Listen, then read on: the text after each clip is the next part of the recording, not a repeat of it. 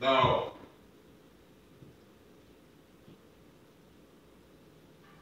Exclusively on Paramount Plus, straight from the stage to your living room. It's the pop culture phenomenon, Paw Patrol. No.